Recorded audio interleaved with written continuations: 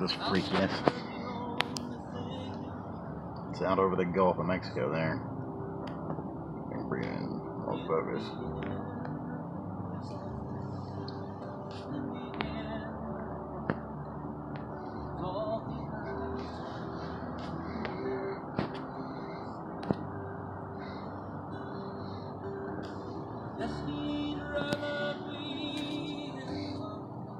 Guess he'd rather be in Colorado. Love you guys. Hope you're having a great evening.